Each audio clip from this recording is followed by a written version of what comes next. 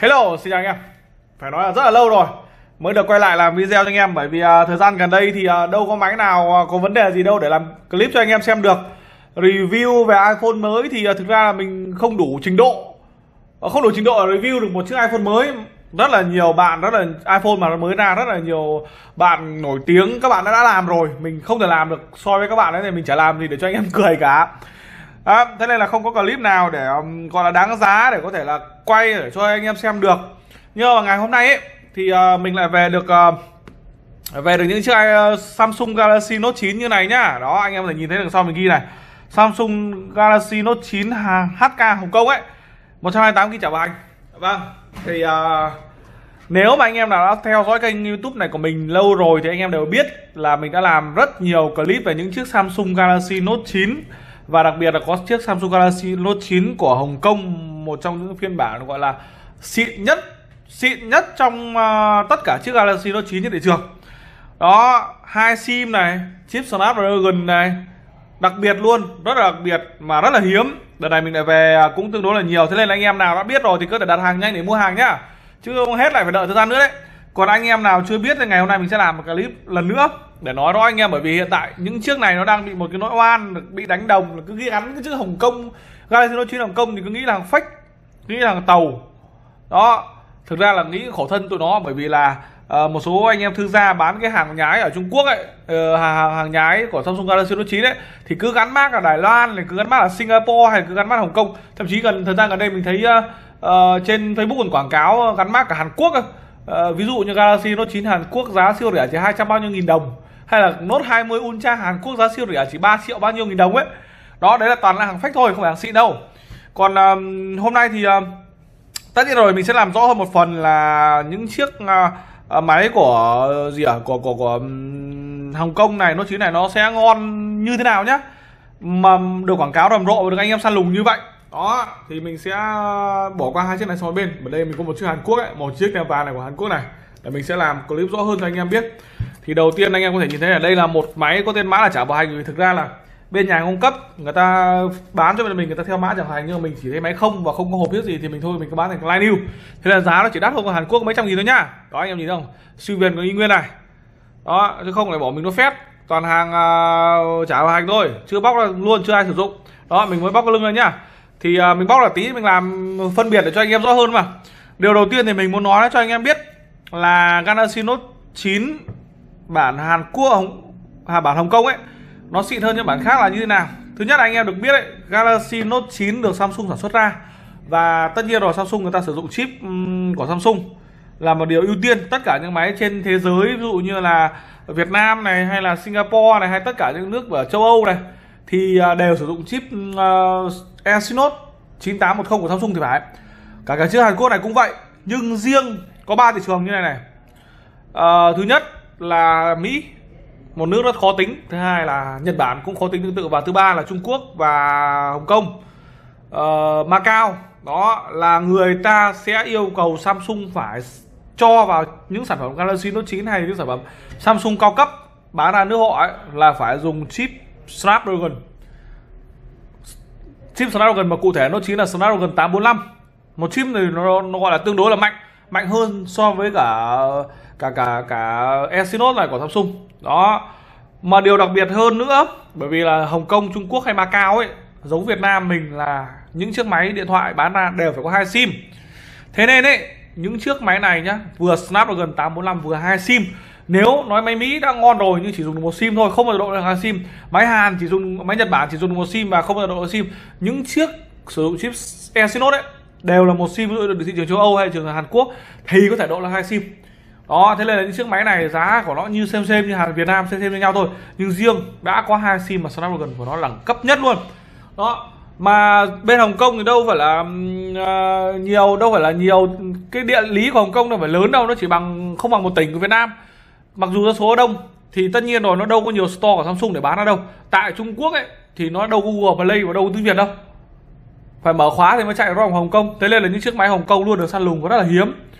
Đó là lý do vì sao mà mà mà hiện tại mình cầm trên tay những chiếc máy phải nói là tương đối là hiếm để anh em có thể săn lùng dễ săn lùng được thì cũng rất là khó, rất là khó rồi. Thế nên nếu anh em nào đang rất là quan tâm sản phẩm này, này thì nhanh tay đặt hàng với mình nhá. Giá hiện tại mình đang bán bây giờ đó là đầu tháng 11 của năm 2020 ấy nó là hơn 8 triệu chỉ hơn 8 triệu thôi cụ thể chi tiết anh em vào được link mình để mô tả ấy. hoặc là website msm.vn nhé đó. Thì à, đầu tiên thì để so sánh giữa hai sản phẩm này ấy thì có máy chiếc Hồng Kông rất đặc biệt này. Thứ nhất là ngày xưa mình hay làm clip về um, các chiếc máy Samsung để anh em có thể là nhận biết được xem có là máy nào là máy xịn máy nào lẻo đúng không? Thì việc đầu tiên để so sánh những chiếc máy Hồng Kông khác với chiếc máy khác ấy, đó là ở đường sau lưng của chiếc máy Hồng Kông là nó không hề in email nhá nhưng nó vẫn có một cái hình biểu tượng hồng rác ở đây chứ không phải là không in cái gì. Nếu không in cái gì chắc chắn là lắp lưng đẻo rồi. Nên anh em lưu ý như vậy. Đây, ví dụ của Hàn Quốc nhé đây này. Thì nó sẽ in là dãy số email như này, cùng với tên modem. Modem của Hàn Quốc là N960N còn của Hồng Kông là N9600 Hồng Trung Quốc cũng vậy là N600 đó. Thế nên anh em đi mua hàng em lưu ý này, nếu người ta quảng cáo là Hồng Kông mua bên mình yên tâm rồi, không sợ rồi. Nhưng mà mua bên khác người ta ở Hồng Kông thì anh em yêu cầu là người ta chụp cho các anh em xem có lắp lưng. Nếu lắp lưng này mà in chữ Galaxy Note 9 mà lại có một số chữ đậm, ơi, đậm luôn rõ nét luôn đấy mà không sắc nét ấy, thì chắc chắn nó là hàng fake. Mình sẽ để ảnh cho anh em nhìn để tưởng tượng nhé đó. Đó, anh em lưu ý như vậy. Chỉ phân biệt giữa máy Hồng Kông thì cứ lật sau lưng lên xem có hình thùng rác này này, giống như máy Note 8 ấy. Đó, anh em là nhìn nhá, có hình rác này.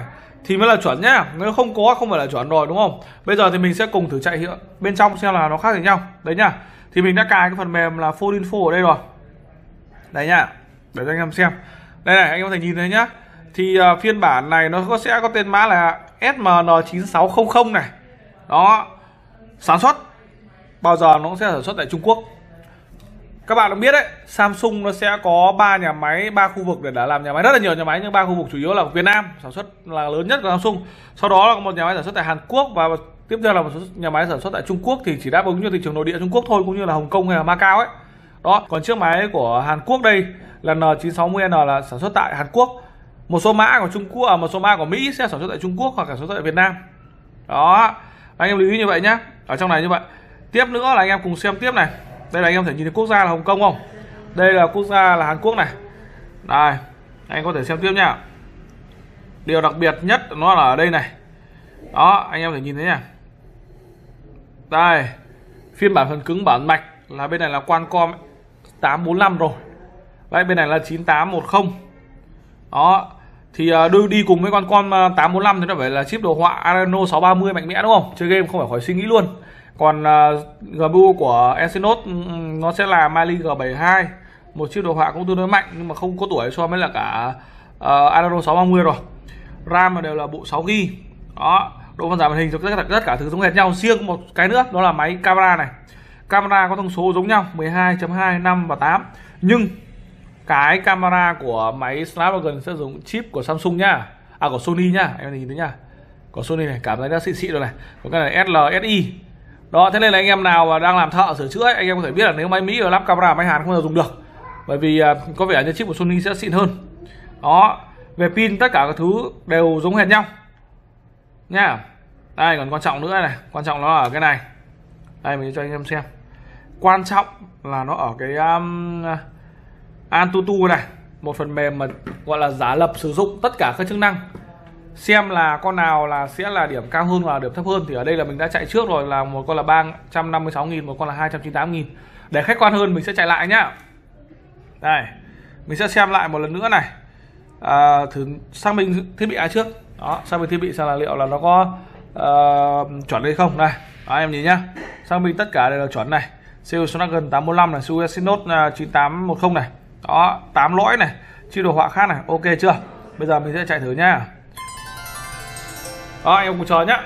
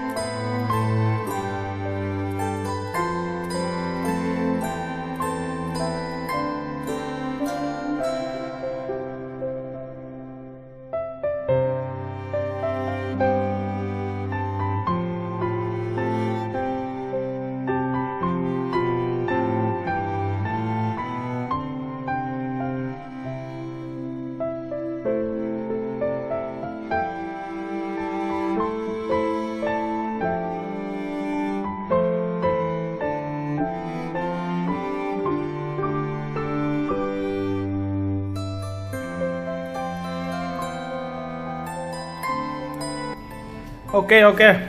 Đó dù có chạy lại nhá dù có tắt hết ram các thứ đi thì um, chiếc Galaxy Note 9 của Hàn Quốc nó có lên một chút. Chiếc Galaxy Note ấy nhưng mà nó vẫn chắc chắn một điều nó vẫn không bao giờ nó bằng điểm của chiếc uh, Hồng Kông được. Đó anh em có thể nhìn thấy cụ thể nhá. Riêng ở phần Cebu này thì uh, chiếc uh, Galaxy Note 9 mà của Hồng Kông ấy thì nó đạt uh, 9 8 nghìn hơn 98 nghìn điểm. Và cái này nó kém một 10 điểm đó. Con số nó không không nói lên nhiều bởi vì là nó chỉ lệch nhau một chút xíu thôi. GPU và chiếc đồ họa thì uh, mạnh hơn nhiều tương đối nhiều 20.000 mạnh hơn 20.000 đó về uh, khả năng như kiểu là xử lý RAM này hay là bộ nhớ này các thứ 49.000 so với cái 53.000 đấy 4953 ok. Về uh, xử lý một số cái như gọi là ảnh nghĩa các thứ này hay lướt web này hay là uh, thu phóng màn hình ấy thử xử lý đồ họa ấy. Một chút về hình ảnh ấy thì là um, chip của Hồng Kông hơn nhiều 57.000 so với cả 46.000 các anh em nhìn nhá đó nó có nhiều có sự khác biệt. Cái điều quan tâm đặc biệt nhất ở đây đó là theo lý thuyết thì à, anh em đều nói là cái bản à, chip Exynos nó sẽ có mát hơn và nó tiết kiệm pin hơn là so với chip Snapdragon đúng không? Điều đó thì không hiểu là ứng dụng nhẹ hay là sử dụng bình thường nó có, có đúng hay không. Nhưng mà khi mà chúng ta chạy Antutu Max có nghĩa là nó giả lập chúng ta sử dụng như là chơi game 3D này xem phim này hay là chạy tương đối nặng ấy copy ảnh rồi lướt web tất cả thứ tương đối nặng ấy thì nhiệt độ của chip à, Ờ, uh, Exynos nó tăng lên 5,8 độ C cơ. Còn uh, Snapdragon nó chỉ tăng lên 4,1 độ C thôi. Một điều khá bất ngờ đúng không? Không biết là sử dụng thông thường như nào bởi vì theo lý thuyết Exynos mát hơn chứ không hề. Bây giờ là ừ, theo cái này là Exynos nó sẽ nóng hơn rồi đúng không? Tiếp theo nữa về độ tiêu hao pin Exynos cũng được nói là tiết kiệm pin hơn nhưng không phải như thế đâu. Ngay cả YouTube Benchmark nó báo cái chip Exynos của Hàn Quốc ấy, thì nó tốn 600 pin nhưng ở trên Snapdragon nó chỉ tốn 400 pin thôi. Anh em thấy có bất ngờ không? Hoàn toàn sai so với lý thuyết luôn. Đó đó là cái điều mà bản thân mình bản thân cá nhân mình cũng thấy là khá bất ngờ về điều đấy. Có thể nhận thấy rằng Snapdragon ở trên chiếc Galaxy Note 9 của Hồng Kông cực kỳ đỉnh cực kỳ đỉnh luôn. Có thể nói là xịn nhất bởi vì từ trước giờ anh em đều ưa chuộng bản Hàn Quốc bởi vì uh, nghĩ là Samsung là một thương hiệu của Hàn Quốc thì người ta phải trao chuốt bên họ đúng không? Nhưng điều đó thì uh, gần như không đúng với là cả bản Hồng Kông. Bản Mỹ thì uh, nó chỉ dùng một sim thôi và có nhiều cái vấn đề ví dụ như sóng xiếc các thứ thì anh em phản hồi mình nó nhiều hơn bản Hàn Quốc. Nhưng bản Hồng Kông nó là quốc tế luôn mà dùng hai sim đây anh em nhá. Không phải độ đít gì cả bản thân nó chọc phát là có hai sim luôn. Đây này. Đó anh em thể nhìn thấy khai sim không? Khai sim màu trắng hai sim luôn nhá. Đây nhá kiểm tra về uh, email nhá. Đó nó sẽ là hai email khác nhau. Email một là 006 email 2 là 004 có nghĩa là không cần phải độ. Nếu mà chiếc Hàn Quốc này mà chúng ta muốn lên hai sim ấy thì uh, nó sẽ chỉ có một email thôi và nhân bản email lên có nghĩa là 772 và sim 2 cũng là 772 luôn. Đó. Đó thế nên là anh em mà muốn mua chip Snap mà lại dùng muốn dùng hai sim ấy thì anh em cứ chọn bản Hồng Kông nhá. Đó còn về vấn đề mà cần xem được bản Hồng Kông như thế nào cho chuẩn đấy thì ngoài cái vấn đề mà lưng này ra rồi thì anh em nên mua khi anh em mua anh em chọn mình sẽ nói lại một chút nữa để cho anh em cùng xem. Thứ nhất là lưng của Galaxy Note 9 bản Hồng Kông nó cũng giống như Galaxy Note 9 bản à, bản bản các nước khác thôi nó chỉ khác với bản Mỹ là không có chữ Galaxy Note 9 ở đây. Nó khác với các bản nước khác là không email ở đây mà nó chỉ có duy nhất là hình rác như này này. Đấy mình nói lại lần nữa này. Và nếu khi anh em xem cái lưng ở đây thì anh em nhìn kỹ cho mình cái khu vực camera ở trên này nó có bụi hay không. Nếu có bụi vào trong thì anh em không nên lấy nhá, bởi vì những cái máy này nó có khả năng chống nước. Nó phải kín, nó phải chống bụi, thế nên không có bụi bên trong đâu, không có nốt vân tay bên trong, anh em lưu ý là như vậy. Còn có anh em không nên lấy đâu nhá. Đó, cái màu của bên trong khu vực cụm camera nó sẽ có màu đồng màu xanh, chứ không phải màu đen như là ảnh trên mạng đâu nhá thế nhiều khi anh em xem lại uh, lấy theo ảnh trên mạng là dính ngay con fake. Đó anh em xem là anh em có xoay kỹ cái một cái mép này cho mình bóp xong bầu bùng hay không để chọn được con máy chưa bị bung nhá. Tất nhiên là kiểm tra áp suất cũng thể xem được rồi. Đó bóp xong bầu bùng hay không. Nhìn kỹ khu vực dưới này xem có bị cạy đây hay không. Cái điều điều tiên quyết nếu anh em mua máy bên mình thì anh em có thể kiểm tra thoải mái. Đó có vấn đề thì mình sẽ đổ luôn. Đó nhìn kỹ nhá xem có bị cạy hay không thì những cái mép này. Đó. Tiếp nữa là đến cái viền cái viền ở chiếc máy này nó là cái viền máy trả bảo hành nó còn nguyên siêu rồi. Còn nếu không có ấy, thì nhìn kỹ khu vực uh, uh, nhựa mà gọi là khu vực phân sóng anten này. Vuốt tay vào đây nó mịn nó không bị cộm cộm lên và nó không có vết hở gì là ngon. Cái này cũng vậy cái dưới này cũng vậy cái dưới này vậy. Điều đặc biệt là bốn cái màu sẽ giống nhau. Anh em lưu ý là nhắm mắt lại vuốt nó sẽ mịn như gọi là một khối nha chứ không phải là hai khối một nhựa một cái loại đâu. Và cái màu này với cái màu khu vực ừ, cắm tai nghe vào màu chân sạc là giống nhau nhá con này trả bài cái chân sạc là khá là mới này. Đó anh em lưu ý là như vậy này. Khi, khi xem như vậy tiếp nữa là cùng xem cái màn hình để biết được con Galaxy Note 9 xịn nó phải như thế nào. Tắt cái màn hình đi này. Đấy. Nhìn đen không? Nó đen xì xì cho một khối luôn, nghiêng nghiêng một tí thì mình nhìn thấy cái mép ở trên dưới. Đấy, nhưng quan trọng nhất là cái mép trên dưới, anh em xoay kỹ cho mình nhé và cái mép dưới là có bị thủng bên dưới không? Bên dưới này một cái màu đen mà tự nhiên có vết sức sức bên trong ấy, thì xem chừng là bị ép kính rồi ấy. Đó, bên dưới cái này như vậy này. Bên dưới này vậy là xem kỹ là xem nó có vết sức bên trong không. Và tiếp nữa này, khu vực bên trên này nó sẽ có một cái đèn này, một cái cảm biến bóng mắt này và hai cảm biến ánh sáng này tổng cái này nó sẽ có tất cả là bốn ô tròn nhưng không ô tròn nào giống ô tròn nào có nghĩa là không đều nhau. Đấy cái bên này bé xíu này nó đến cái to nhất này xong to vừa đến to thứ ba này. Đó phía này là phía uh, cụm lưới mà loa trong ấy.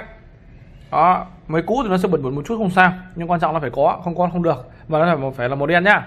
Cái này camera trước nó một cái cụm tròn nó tương tự với cụm cảm biến bên này. Đó dễ nhìn hơn là cụm bên này một chút. Tiếp nữa là nhìn kỹ nhá.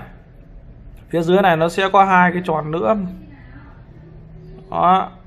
Cái một cái thì nó rõ này. Có thể gọi là một cái thì cái kia coi như bỏ qua. Nó sẽ một cái tròn nữa này. Cũng là một cái cảm biến. Tổng ca, tổng kết là có một, hai, ba, bốn, năm, sáu. Sáu ô tròn và không ô nào giống ô nào nữa nha. Nó không đều nhau anh em lưu ý mình là như vậy. Nếu không có đủ là có vấn đề đấy nha. Đó. Cái viền này thì cùng xem lại là cái nút phím nó phải bấm chuẩn màu này. Nó phải chắc chắn này. Này. Đó.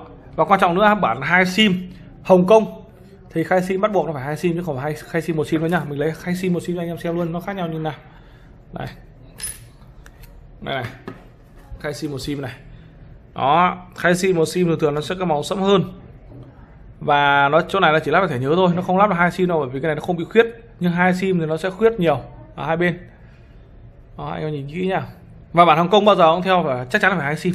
Chắc chắn luôn phải hai sim nha đó, anh em có thể lựa chọn một con chuẩn, nốt 9 chuẩn như thế nào ấy. Cướn cái kiểm tra email lên. Đây này. Sao thăng không, sáu thăng. Hai email một và email hai khác nhau. Email một và email hai khác nhau thì chuẩn khai sim theo máy phải là khai sim hai sim. Còn email một và email hai giống hệt nhau thì khai sim nó chỉ là một sim khai sim thôi. Còn nếu khai sim mà có hai, lắp được hai sim ấy, thì chắc chắn là cái khai sim đấy không phải khai sim theo máy. Đó nhá. Nhân tiện cái khai sim ở đây ấy thì là anh em cùng à, tháo ra và nhìn cái quỳ bên trong này giúp mình. Xem nó bị à, đổi màu hay chưa. Đây này. Cái quỳ nó sẽ nằm ở phía anh em có thể nhìn thấy cái màu trắng trắng mà. Màu trắng nếu mà ở ngoài thì nhìn sẽ dễ hơn. Màu trắng trắng mà có những dấu cộng màu tím. Đó, cái màu trắng này này. Nếu cái màu trắng trắng này biến thành màu đỏ lòm ấy, chắc chắn là dính nước rồi nhá. Màu đỏ hồng hồng là cũng bị dính nước rồi. Anh em lưu ý như vậy.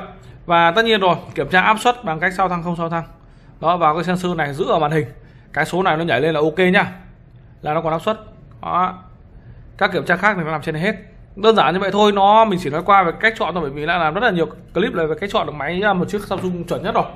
Đó. Và cái clip này ngày hôm nay thì mình cũng chỉ muốn là giải oan cho, cho cái Galaxy Note 9 ở Hồng Kông. Để anh em biết là Galaxy Note bản chiếc Hồng Kông nó ngon như nào. Anh em nào đã biết rồi thì không phải suy nghĩ đúng không? Và tất nhiên rồi để quảng cáo là bên mình hiện đang sẵn hàng nhá. Chủ yếu là màu à, xanh. Chủ yếu là màu xanh và màu tím thôi. Đó màu xanh với cái bút màu vàng đặc trưng này. Đó, và màu tím à, và bản 128GB giá hiện tại bây giờ chỉ có hơn 8 triệu một chút. Đó, anh em nhá chỉ có hơn 8 triệu một chút thôi. Để đặt hàng thì anh em có thể vào website mm.vn để đặt hàng. Hoặc là gọi điện cho bên mình theo số điện thoại uh, 088 88 88 641 hoặc số máy bàn là 0255 652 6789 địa chỉ bên mình là 170 lạch tranh nhá. Anh em xem clip này mà anh em thấy hay và hữu ích thì anh em có thể chia sẻ và cho mình một like à, và nếu anh em cảm thấy um, có thể ủng hộ mình là lâu dài anh em có thể subscribe youtube của mình. Đó à, bên mình thì ship COD toàn quốc nên hoàn toàn không mất phí.